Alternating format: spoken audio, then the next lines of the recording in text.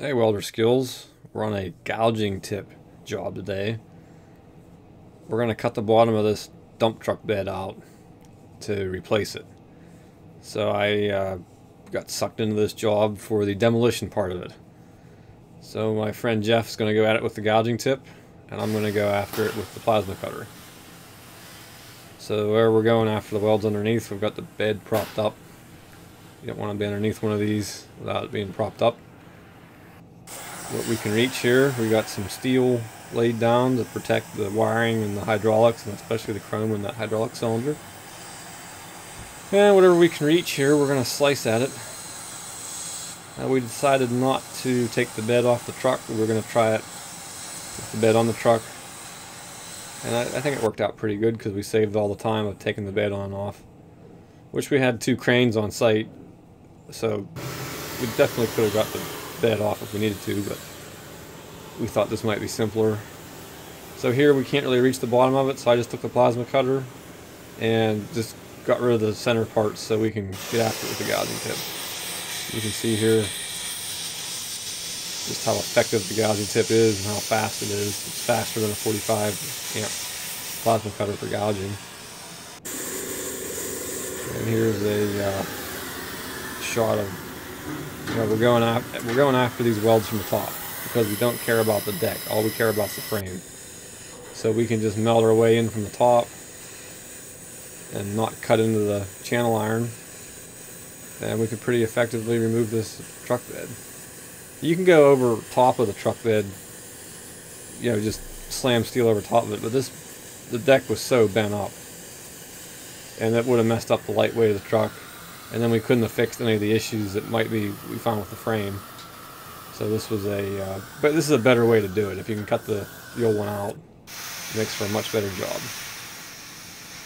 So we left the bed up to get about two thirds of it, and then to make it easier to reach, we just set the bed down. I marked uh, underneath before we set it down with the plasma cutter where the welds were. I kind of blew holes at the end of the welds so we could see them from the top to see where to cut, and we just went after it the rest of the way from the top. So I took my metal cutting skill saw here, and we decided where we were going to stop, because the very front of the bed was in good shape, and it was holding some mechanisms. So I took a chalk line across there, and I just took my skill saw across to make a nice straight cut. If uh, if Jeff decides to butt weld that, uh, he'll be able to. If he decides to go over top of it, it really won't matter. But I wanted to give him as many options as possible when we're when we goes to put this bed back together. So I probably won't be involved in the reconstruction process. I was just uh, here for some muscle and some gouging and a little bit of grinding. So this job uh, actually ended up going pretty well. We did not seem to hurt anything in the truck. It's real easy to burn off air lines for the brakes and it's easy to burn up wiring, but we tried to be careful and we had a hose handy. And uh, everything worked when we were done. So I guess I have to call it a win.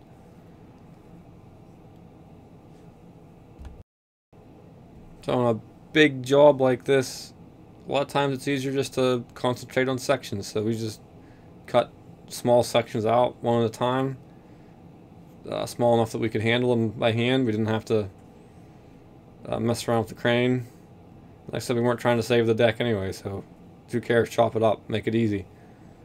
And then that way, if you run into a weld that you missed, it's a lot easier to figure out where it is. Instead of you have a large plate and you're trying to pry it up and get it out of the way. If there's one weld hang, hanging you up, real hard to tell uh, what the problem is.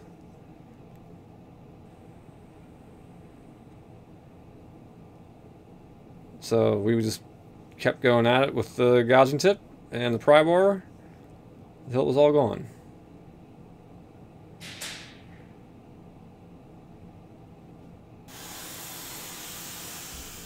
I think this is a pretty neat torch cart. I like the way the chains are tight with a to hold the bottles on. So we're running 15 psi acetylene and we're running about 60 psi oxygen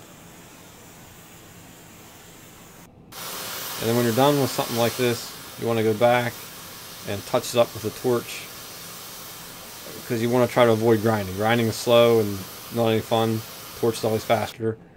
So you, you can get as much as you can out of there with the torch, and the grinding doesn't take near as long. So there we go. We're ready for a new deck, and that only took us about seven hours. So I'd say we, we uh, did a pretty good job on time too. And I was wearing my respirator. I'm a big fan of these uh, under helmet respirators. As you can see, it definitely works. There was some crud in there that's not inside my lungs now. And I'm not upset about that. I think it's well worth the, I don't know what these cost now, $30. It's worth having a couple laying around. Well, thanks for watching. Catch you in the next one.